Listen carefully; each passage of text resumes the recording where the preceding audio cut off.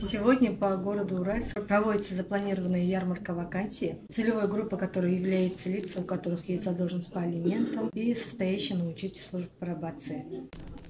Сегодня участвует порядка 30 работодателей.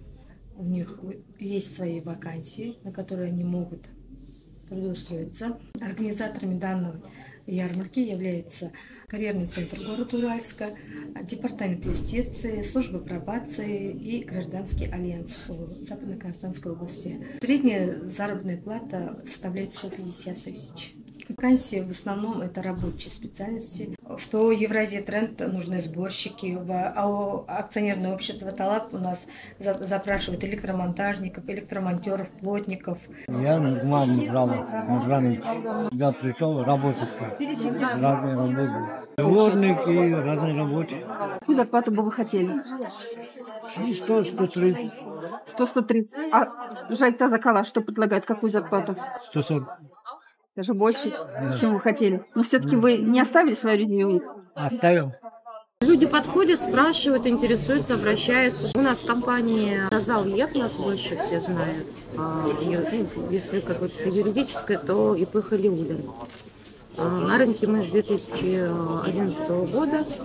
А сейчас ведем набор следующих специалистов. А, заведующий производством, пельменный цех, один человек нам требуется. Лепщики пельменей манты, 10 человек нам требуется на сегодняшний день в связи с расширением. Очень тяжеловато найти специалистов в сфере производство в том числе. То есть это, как правило, берешь без опыта работы и обучаешь.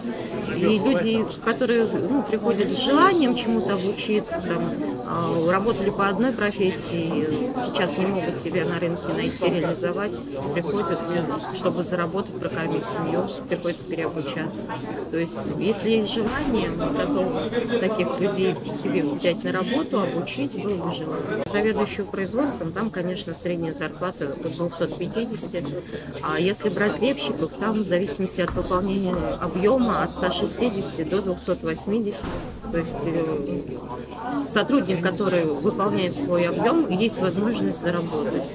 Найти не так уж и легко на производство, да и не только на производство, потому что ну, у нас люди, как правило, хотят хорошо зарабатывать, но поменьше трудиться.